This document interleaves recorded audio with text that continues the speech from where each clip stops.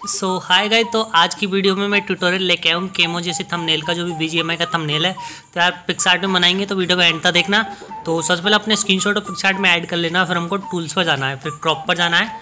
फिर जो sixteen ration आन पर इसको कट कर लेना है। तो कुछ इस तरह से इसको कट करना है, इसको कर देना है डन फिर इसके बाद हमको यहाँ से जाना है एफएक्स पर।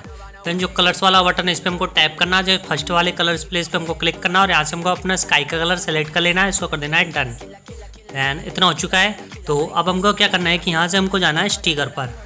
तो यहाँ से हम स्टिकर पर आ जाएँगे। स्टिकर पर आने के बाद यहाँ से हमको सर्च करना है बिगनेट इफ़ेक्ट और फिर यहाँ से जो पाँच नंबर पर बिगनेट इफ़ेक्ट उसको डाउनलोड कर लेंगे और अपने थंबनेल पर इस तरह से इसको अप्लाई कर लेंगे। फिर इसको कर देंगे यहाँ से डन देन अब क्या करना है? यहाँ से हमको ऐड फ़ोटो पर जाना है। फिर यहाँ से लाइट वाला पीएनजी ये वाला इसको ऐड कर लेना है और इसका साइज़ हम इंक्रीज कर लेंगे कुछ इस तरह से। और फिर यहाँ से इसको सेट करने के बाद इसके ब्लेंड पर जाएँगे और इसको कर लेंगे स्क्रीन देन अब क्या करेंगे कि यहाँ से हम जाएँगे फिर से ऐड फ़ोटो पर। और यहाँ से एक और पीएनजी उसको ऐड कर लेंगे पार्टिकल वाला। तो यहाँ से ऐड फ़ोटो पर चलते हैं और फिर यहाँ से हम उसी को ऐड कर लेंगे जो भी अपना पार्टिकल है। तो ये हमारा पार्टिकल है, इसको हम यहाँ से ऐड कर लेते हैं। लिंक आपको डिस्क्रिप्शन में मिल जाएगी, जो मैं यूज़ करूँगा सबकी। तो फिर क्या करेंगे, इसके ब्लैंड पर जाएँगे, फिर इसको स्क्रीन कर लेंगे, फिर इसको कर देंगे डन दैन इतना हो चुका है। तो अब हमको क्या करना है, अपने टेक्स्ट पर जाकर अपना टेक्स्ट लिख लेना। जो भी टेक्स्ट हमको लिखना है अपने थंबनेल पर। तो यहाँ से मैं हायर लिख लेता हूँ। दैन जो ब्लू वाला बटन है, उस पर हमको टैप करना है। फिर माई फॉन्ट पर जाना और ये यूनिसेंस हैवी फॉन्ट है। लिंक आपको डिस्क्रिप्शन में मिलेगी, वहाँ से डाउनलोड कर लेना। इसके कलर को हमको ब्लैक रखना है और स्ट्रोक दे देना हमें इसमें और फिर ब्लेंड पर जाकर इसको कर देना है स्क्रीन देख, कुछ इस तरह से रखने के बाद इसको सेट कर लेंगे। फिर क्या करना है, इसकी शेडो पर जाना है और फिर सबसे पहले इसके कलर पर जाएँगे।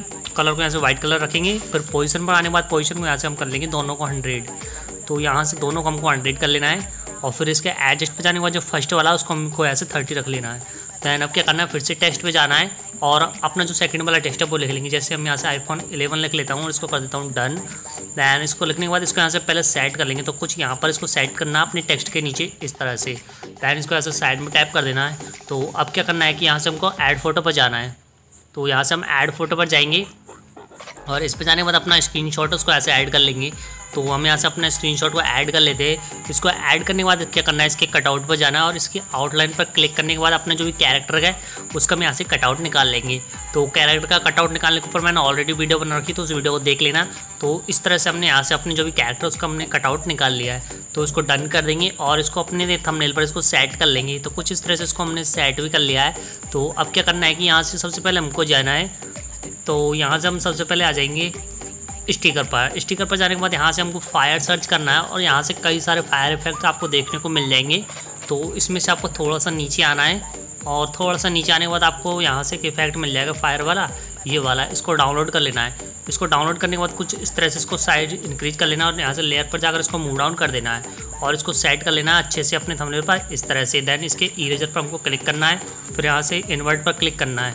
और फिर क्या करना है, यहाँ से अपने कैरेक्टर के चारों तरफ़ हमको इसको अप्लाई कर लेना है। तो कुछ इस तरह से अपने कैरेक्टर के चारों तरफ़ हम इसको अप्लाई कर लेंगे। कुछ इस तरह से और जहाँ पर एक्स्ट्रा पार्ट उसको हम यहाँ से इरेज भी कर लेंगे। तो इरेज पर क्लिक करने के बाद इधर ज़्यादा हो गया तो इसको हम यहाँ से कम कर लेंगे। दैन इसको कर देंगे यहाँ से हम डन दैन यहाँ से हम इसको फिर से राइट पर क्लिक कर देंगे। तो इसको डन करने के बाद अब हमको क्या करना है, यहाँ से हमको जाना है ब्रशेज पर।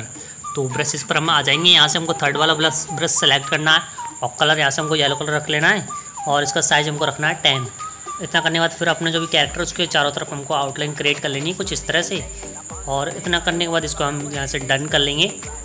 तो इसको कर लेते हैं यहाँ से हम डन तो इतना करने के बाद क्या करना है कि यहाँ से हम अब हमको जाना है टूल्स पर। तो यहाँ से हम टूल्स पर आ जाएँगे। फिर एडजस्ट पर आने के बाद यहाँ से हम अपने अकॉर्डिंग एडजस्टमेंट कर लेंगे। जैसे कि हम इसके काउंटर्स को थोड़ा सा इंक्रीज कर लेते हैं। और फिर इसकी सेचुरेशन को थोड़ा सा इंक्रीज कर लेंगे। तो कुछ इतना करने के बाद क्या करना है? इसको ऐसे हमको डन कर देना है। और इसी के साथ हमारा थंबनेल भी रेडी है। तो यार ये थंबनेल आपको कैसा लगा? कमेंट बता देना। वीडियो पसंद आई तो लाइक कर देना। चैनल पर नहीं तो सब्सक्राइब भी कर लेना।